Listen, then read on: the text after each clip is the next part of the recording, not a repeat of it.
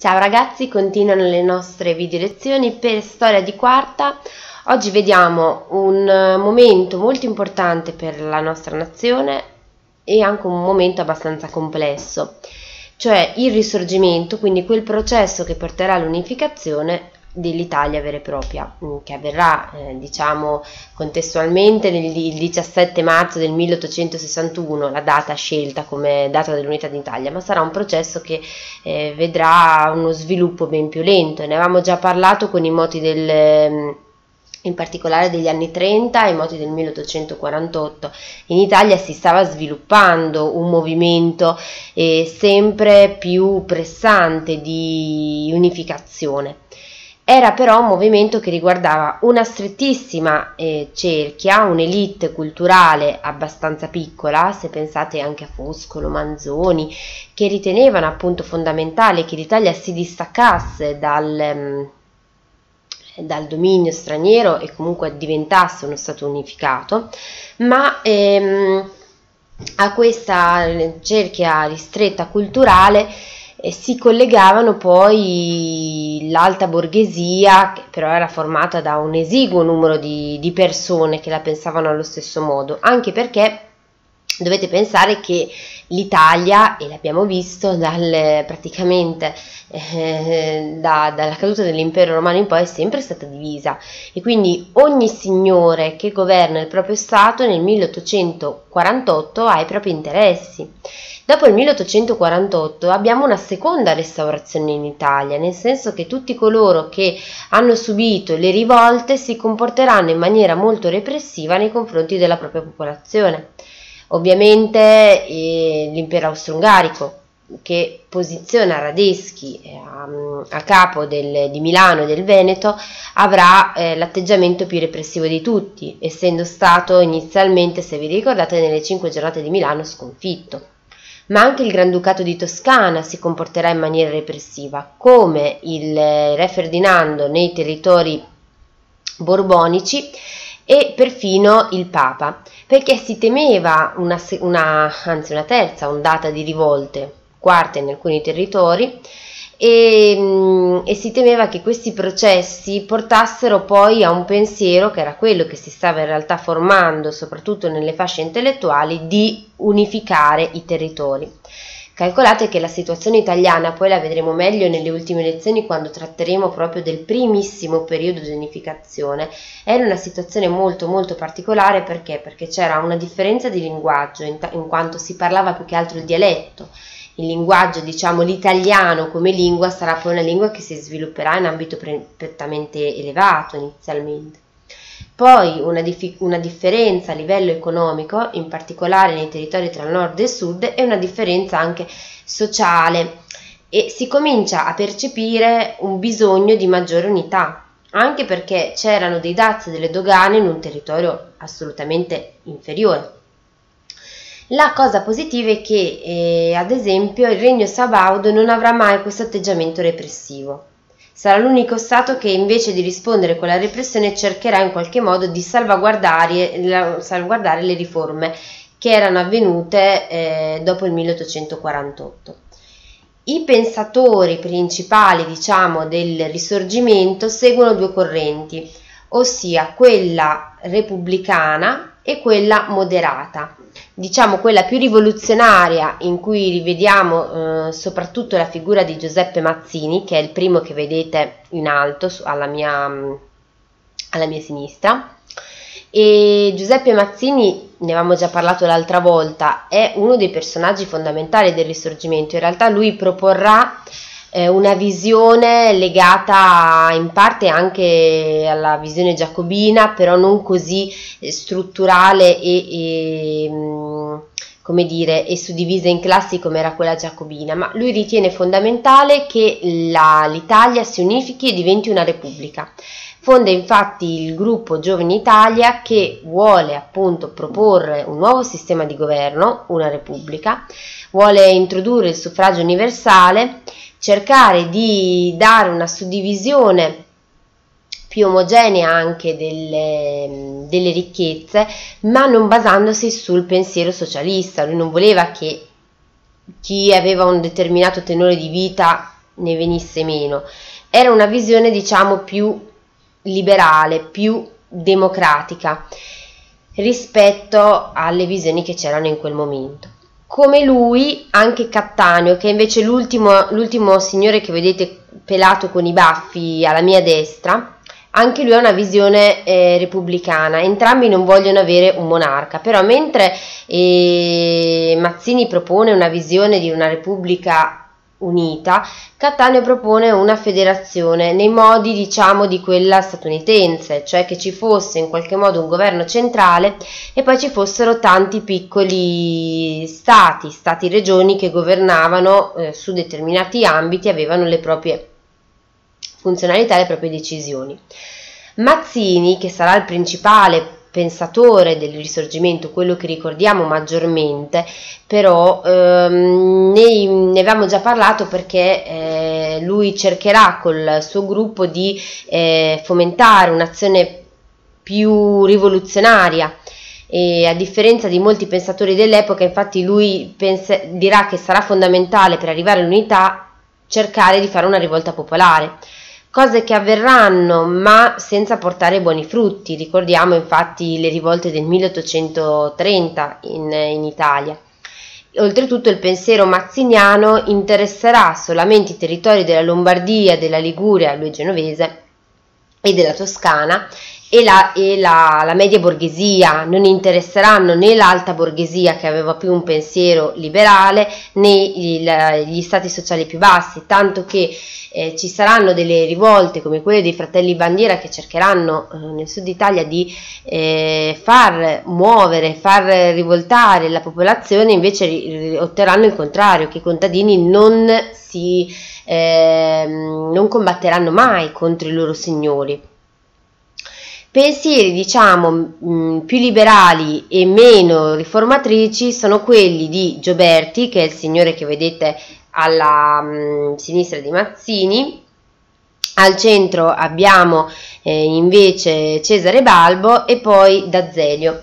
D'Azeglio in realtà eh, scriverà riguardando i moti delle avvenuti a Rimini un, un, piccolo libercolo in cui dirà che sarà fondamentale in qualche modo eh, che ci sia una, non una rivolta ma che l'unità avvenga attraverso una riforma graduale e, e col, ehm, con l'aiuto di una monarchia che si faccia portavoce dei, degli italiani. Lui d'altronde diventerà poi primo ministro del, ehm, del governo Sabaudo, quindi potete ben capire. E gli altri due invece propongono una confederazione.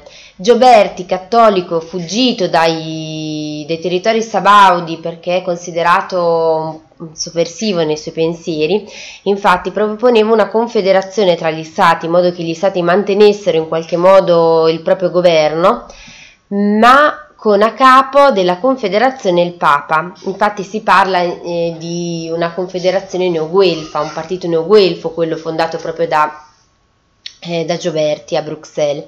Invece eh, Balbo ritiene che eh, si debba fare una confederazione per mantenere in qualche modo gli stati suddivisi tra di loro riconoscendone le diversità, ma mettendo a, come a, eh, a capo di questa confederazione il re Vittorio Emanuele, cioè il regno sabaudo. Allora, in realtà questa situazione eh, non, non si avvererà nessuna delle situazioni proposte, o meglio, come vi dicevo, il, eh, il regno sabaudo è l'unico che in qualche modo si dimostra aperto a eventuali cambiamenti, non, non risponde con la repressione ehm, in questi atti che c'erano stati di rivolta, ma capisce che ehm, c'è una società che si sta modificando. Vittorio Emanuele II sarà il re che porterà all'unità d'Italia, ma tutto deve al eh, suo primo ministro, Camillo Benso Conte di Cavour, che in realtà diventerà ministro nel 1852, prima è, eh, è ministro dell'agricoltura.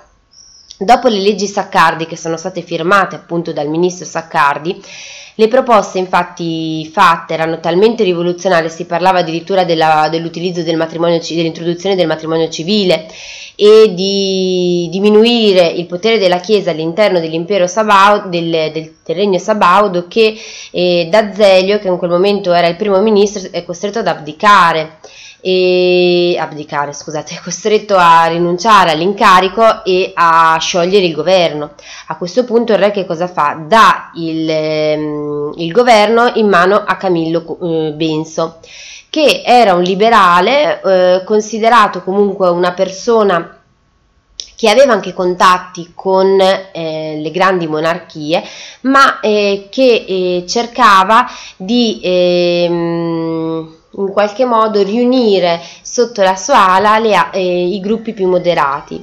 Infatti si parla durante il governo di, di Cavour del cosiddetto connubio, perché lui la prima cosa che fa è cercare di allontanare le ale di estrema destra e di estrema sinistra del Parlamento per unificare sotto la, la sua visione le ale moderate della destra e della sinistra in modo che eh, avesse una maggioranza abbastanza mh, importante.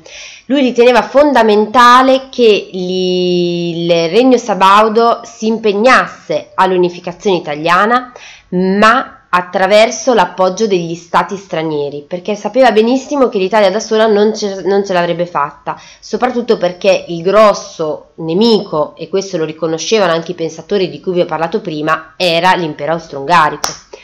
Allora, ehm, in realtà sotto il governo di Cavour ci sono grandi ampliamenti mh, nel regno sabaudo. Ad esempio ehm, viene allungata di eh, quasi 800 km, più di 800 km la, la, ferrovia che prima contava 54 km, pensate arriva a più di 900, circa 950 km. Vi è una riforma agraria e, e anche una riforma eh, a livello monetario per cercare di, di, eliminare anche il debito che si era creato con eh, il debito pubblico che si creato. In più si rafforza la banca nazionale. Cosa fondamentale, eh, Vittorio Emanuele II mantiene la Costituzione che era stata firmata, in, mm, cosa che dimostra che eh, in qualche modo si fa portavoce delle istanze innovative che si stavano creando in quel momento. E Cavour fa un passo fondamentale, che è quello di partecipare con un piccolo contingente alla guerra di Crimea. Questo perché?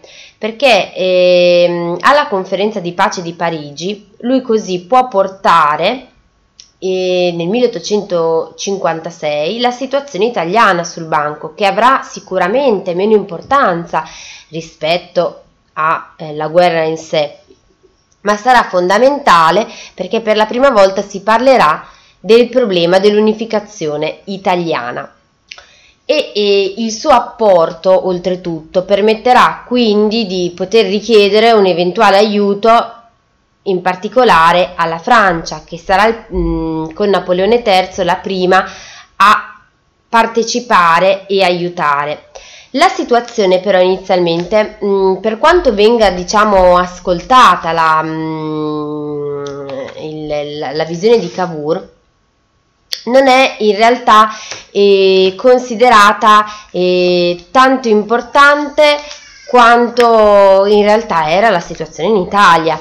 Anzi, eh, bisognerà aspettare in realtà un, un atto mh, mm, di per sé, potremmo dire quasi mm, in, controsenso rispetto alla, a quello che vi ho detto finora, nel senso che mentre Cavour fa questo, scoppiano in Italia una serie di piccole rivolte, eh, in quanto il, la parte democratica cercava ancora di farsi sentire, in particolare Pisacane eh, prova a far, a, a far, ribellare a, Sarpi, a Sapri la, la popolazione contadina, ma eh, in realtà la popolazione non si ribella e lui viene ucciso.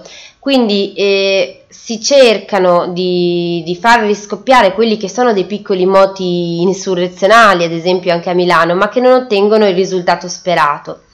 E, e ehm, in più nasce eh, sotto la, la guida di, eh, di, Manin e poi di Giuseppe La Farina, che sarà comunque un personaggio importante del governo Cavour, la Società Nazionale Italiana. Questa situazione, quindi vi dicevo, paradossale perché sì, l'Italia aveva aiutato ad esempio la Francia nella guerra di Crimea, ma sembrava che la Francia non, non si interessasse a questi moti che mh, mm, creavano una certa difficoltà anche al governo di Piemonte di poter proseguire con la propria idea di, di unità. In realtà hanno ehm, Mm, cioè avviene un fatto che porta in qualche modo eh, lo scoppio della cosiddetta seconda guerra d'indipendenza, l'inizio dell'unità d'Italia. Perché?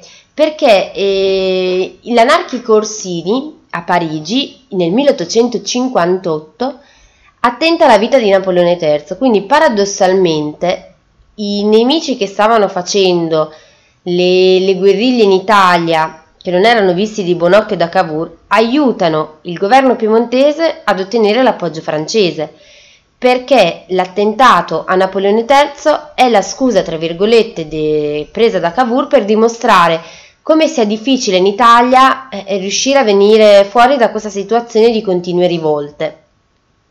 Quindi paradossalmente le rivolte che erano fatte contro anche lo stesso Cavour, perché mh, mm, i rivoltosi erano persone che volevano avere la Repubblica, ecco, lo aiutano a far sì che la Francia entri in guerra.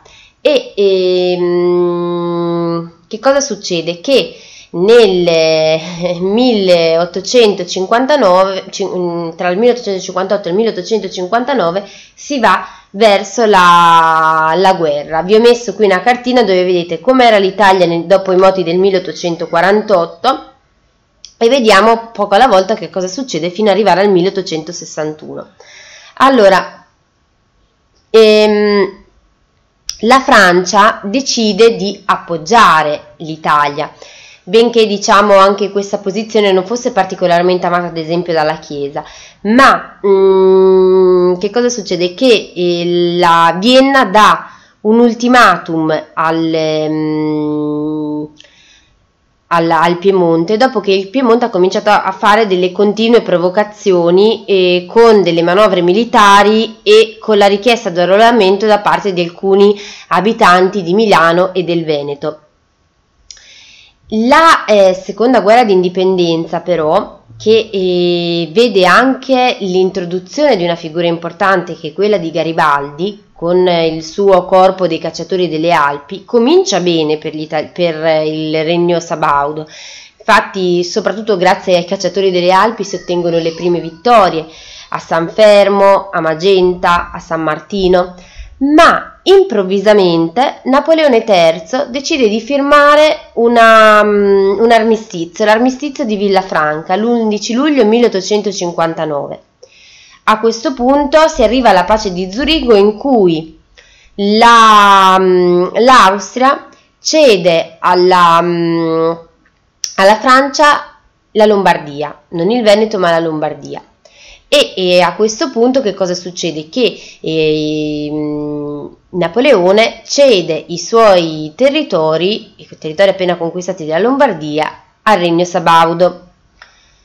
Il problema qual è? che l'Italia centrale comincia a sollevarsi. Il Granducato di Parma, quello di Modena e le, Toscana e le legazioni mh, mm, pontificie del, dell'Emilia sostanzialmente e cominciano a voler essere, a, cioè vogliono anche loro entrare a far parte del regno che si stava creando e il um, e praticamente eh, inizialmente eh, che cosa succede? Che si crea un problema per il regno sabaudo perché? Perché da una parte eh, creerebbe delle difficoltà a livello diplomatico in quanto la Francia non è molto contenta di questo allargamento di questo Stato e ugualmente l'Austria ovviamente. Dall'altra, eh, però, eh, Vittorio Emanuele è diventato il simbolo, il re della liberazione, non può quindi deludere eh, gli abitanti di queste città. Viene indotto così un plebiscito nel 1860 in cui i cittadini di, queste, di, di Parma, di, di, Modena, delle legazioni e della Toscana eh, si esprimono e decidono di entrare a far parte del regno Sabaudo. Vedete il regno Sabaudo, a parte la prima cartina che è quello in verde, è quello in arancione. Vedete nel 1859, 1860 con l'annessione di Milano e poi di territori. E, e, però non finisce qui. In Sicilia, quindi in questo momento, nel 1860, voi avete l'arancione che è il regno Sabaudo, il blu sono i territori rimasti in mano agli austriaci, e il rosso è il territorio pontificio, il sud è tutto in mano ai Borbone. Che cosa succede? Che nel sud proprio cominciano a ribellarsi eh, gli, eh, i, i, borghesi, in particolare abbiamo le rivolte di Crispi e di Pilo nel 1860, ma diventa fondamentale per la liberazione del sud la figura di Giuseppe Garibaldi chiamato l'eroe dei due mondi perché lui era italiano ma era un vero e proprio condottiero, era andato anche in, nel Sud America ed era tornato proprio per l'unificazione italiana. Il 5 maggio del 1860 lui parte da Quarto, che è una eh, piccola, piccola, cittadina mh, mm, della Liguria, e, e in direzione eh, sud, in direzione Sicilia. Si ferma solo a fare rifornimento all'isola del Giglio per poi ripartire, come vi dicevo, scende, arriva a Marsala l'11 eh, maggio, quindi sei giorni dopo, e insieme a, a sé ha i cosiddetti mille, questi giovani che hanno la caratteristica di avere la giubba rossa. E, e comincia un processo di liberazione prima della Sicilia con l'invasione poi di Palermo, poi di Milazzo e poi successivamente anche dei territori eh, peninsulari.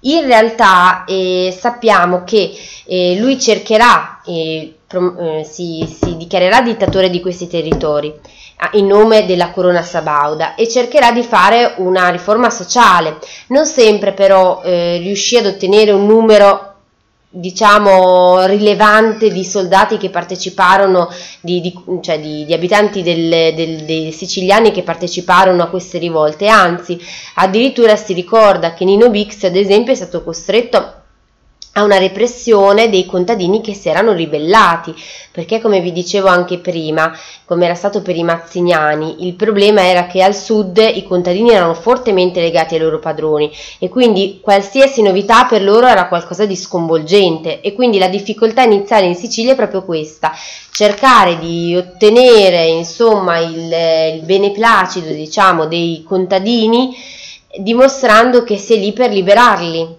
dal, dai Borbone ed è questa proprio la prima grande difficoltà. La seconda proviene proprio dal, dal governo, nel senso che Cavour teme lo strapotere di Garibaldi. Inizialmente manda la farina a fermarlo in modo che non vada a invadere anche la penisola, ma Garibaldi si disinteressa, arriva eh, in Calabria il 19 agosto e, e il 21 prende Reggio e poi sale arriva fino addirittura a Napoli. Il problema a questo punto per Cavour è che non ci sia un, eh, un problema diplomatico, nel senso che eh, teme che Garibaldi voglia arrivare a Roma e Roma era un territorio in qualche modo eh, particolare perché era la sede del Papa e, e, avere a che fare con il Papa voleva dire diventare quasi nemici di, di tutti i paesi che lo difendevano, tra cui anche la Francia.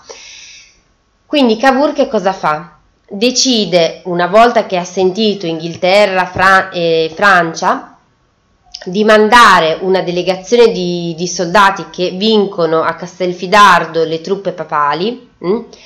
arriva eh, nell'ultima roccaforte del, dei Borbone a Volturno dove eh, Garibaldi ormai è riuscito a sconfiggerli e il 26 ottobre Garibaldi a Teano incontra il re Vittorio Emanuele e gli cede il Regno d'Italia. A questo punto, come vi dicevo, arriviamo alla nascita del, del Regno d'Italia il 17 marzo 1861 quando Vittorio Emanuele viene proclamato eh, re d'Italia. Il Regno d'Italia è in questo momento creato. Vedete che è tutta la zona arancione, rimangono fuori il, quello che era rimasto dello Stato Pontificio, quindi Roma e alcune zone limitrofe, i territori del Veneto e del Friuli, che eh, vedremo poi quando verranno annessi, in che periodo.